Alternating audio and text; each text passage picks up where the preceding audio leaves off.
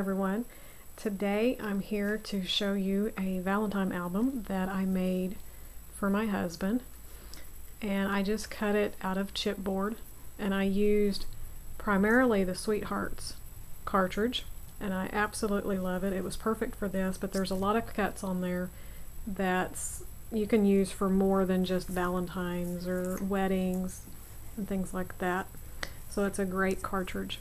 My ring's a little bit big here, but I had a small one and it was starting to bend, and so I had this one. So I'm going to have to go buy a smaller ring. I did choose to do it instead of the bind it all because I had the scalloped edge. So I thought this would be better. And I just tied some ribbons. And on this I had a key.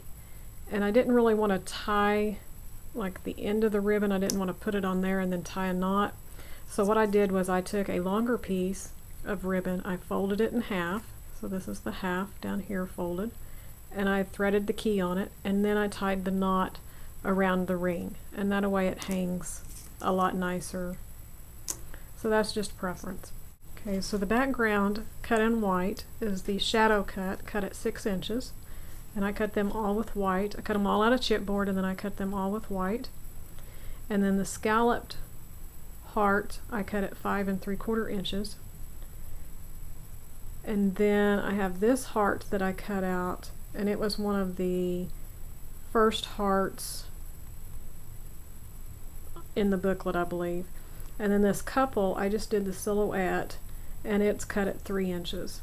And then the title here the perfect pair was cut at two inches and I embossed it or I stamped it with Versamark and then just put clear embossing powder on it and heated it up so it's just kind of shiny, which it, it probably won't show up, but and then the flowers that are on the front are just some flowers that I bought and I used stickles on them to glitter up and then the heart inside of here is a brad.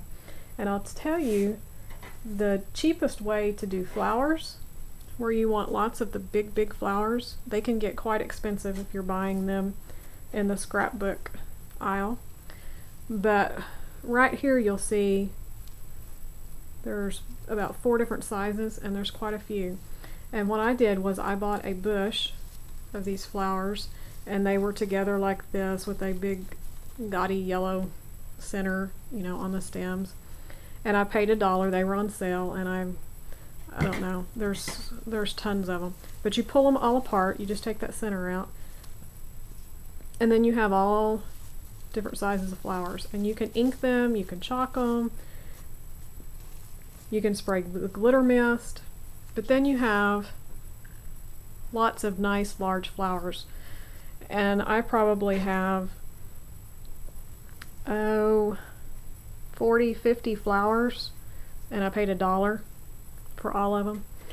So if you like flowers, that is a very cheap way to, to do those. Okay, and then on the inside, like I said, I, I picked out coordinating papers and I did the pages across from each other to match. So these are the two pages.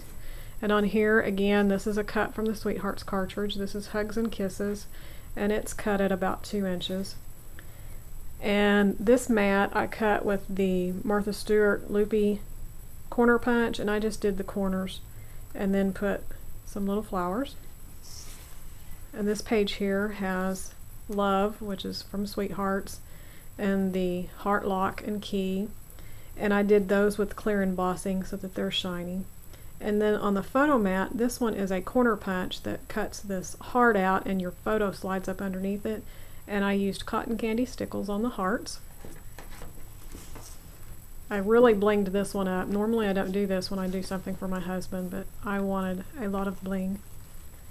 Okay, on this page I just have Sweetheart cut about, it was three quarter inches I believe, and I used a silver embossing powder on it. And then this was just some printed ribbon that I had and I used two little pink heart brads to adhere it down. And one of the things that I did too was I did not adhere this patterned paper to the heart. I kept all of those separate until I was completely done. I decorated the pages, put all the brads in, did, did everything that I was going to do to the page, even the glitter of the stickles and stuff, and then glued it to the backgrounds. That way I didn't have to worry about brads and eyelets and things. Okay, on this page we have the love cut again. This big kind of mirror looking heart is just something out of my stash. And then the glitter heart was cut from Sweethearts and I just put a pink glitter on it. And this silver frame is another thing that was out of my stash and I had a stamp that said with all my heart and I just put the with all my and then I hung a little heart charm. Oops, sorry, bumped the camera. The little heart charm is hanging off some floss thread, which I don't even know if you can buy that anymore. It's out of my stash. Put it down with some brads. Okay, and the next two pages we have more cuts from the Sweethearts, some little flowers, and the brads, and just a ribbon, and I didn't tie it down or anything, I just glued it and I left it hanging off the edges.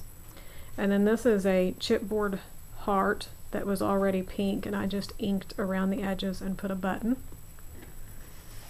And this is actually where the heart was punched from. So I used the negative image,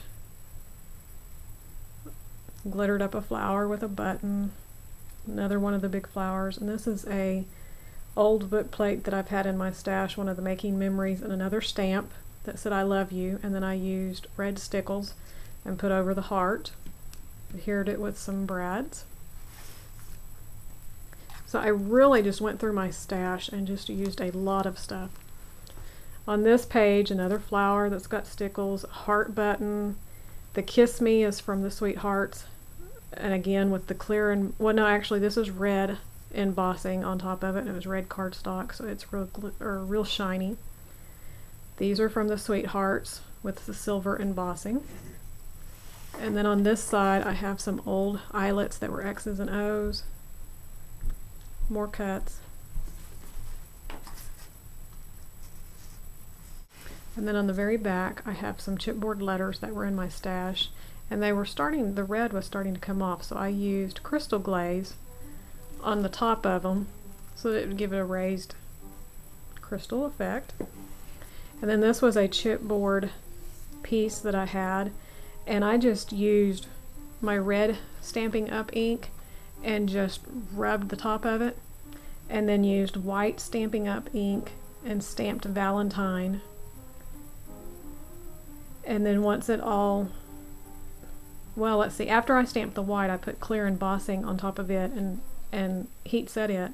And then I just put Versamark over the whole thing. And if you haven't ever tried that you want to try it it just kind of gives it a little shimmery put ribbons through the ends with some brads a couple of things that I want to tell you if you're making little albums like this some things to keep in mind are don't use original photos if there are any that you care about or you know you don't have extra copies of.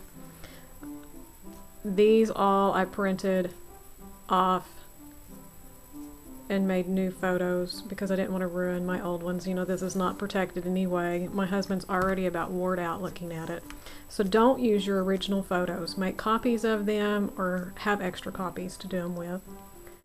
Another thing that I didn't think about because I was in such a hurry was keeping a spot open on every page to punch it and you definitely want to do that if you're going to do the bind it all or anything you're going to want to punch it before you put your big embellishments on there because otherwise when you go through here you know you may have a clear spot here but when you get to the back side you might have embellishments there and you won't be able to punch the hole so you want to kind of do it before you get your big heavy embellishments on there so that's my album. I hope you enjoy it.